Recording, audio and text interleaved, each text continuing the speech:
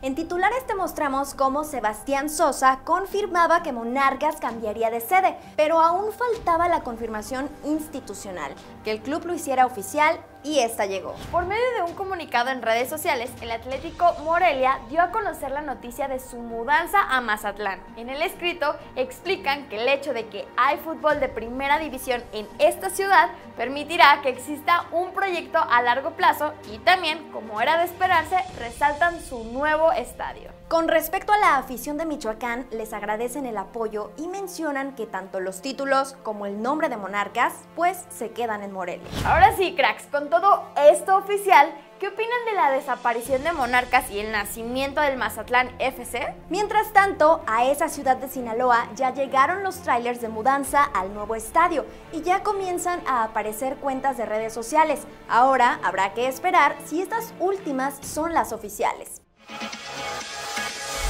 ¿Cuántos títulos ha ganado el Atlas como equipo de primera división? ¿1, 4 o 9? La respuesta en la parte final del video. Y bueno, mientras lo de Monarcas es oficial, hay rumores en torno a Chivas para el próximo torneo, pues de acuerdo a algunos medios, la crisis económica que golpea a los equipos del fútbol mexicano va a ocasionar salidas en el rebaño.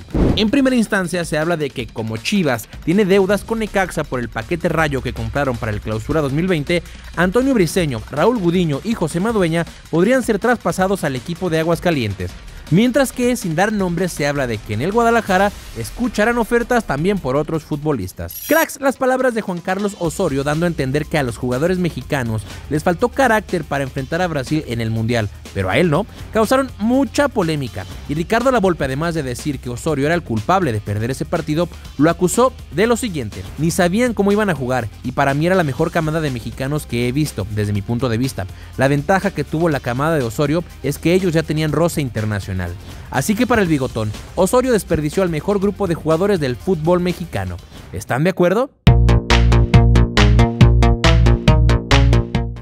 Aseguran que Ignacio Malcorra y Pablo Barrera podrían ser fichados por los Bravos de Juárez. Con tres títulos de liga, cuatro Conca Champions y una Copa MX, José María Basanta dejó de ser jugador de Rayados del Monterrey. Con mensaje en redes sociales, Hugo González dijo adiós a los Rayos del Necaxa. Luis Aquín dejó de ser jugador de Puebla y regresará a Bolivia para seguir con su carrera. Cinco opciones me parece fantástico para cuidar al jugador y al espectáculo, dijo Javier Aguirre sobre la nueva regla de cambios para el regreso del fútbol. Pumas, Cruz Azul y Chivas tendrían equipos filiales en la Liga de Expansión, de acuerdo a información de Récord.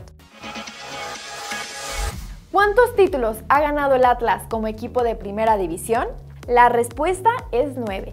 El Atlas tiene un título de liga, 4 de Copa México y 4 de campeón de campeones. El último de ellos lo ganó en 1968. Para conocer más, suscríbete a Cracks MX. Cracks, ya para despedirnos, en los resultados de hoy de la I-Liga MX, el Necaxa y Cruz Azul empataron a dos goles y el América sorprendió y le ganó 4-2 al líder Pachuca. Los Tuzos, León, América, Atlético de San Luis, Chivas y Toluca ya están clasificados a la liguilla.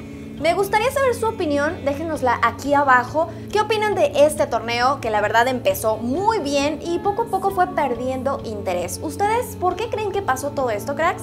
Con esto nos despedimos, espero les haya gustado mucho este video. Recuerden darle like, compartirlo, seguir todas las redes sociales oficiales de Cracks MX y obviamente suscribirse a toda la familia Cracks.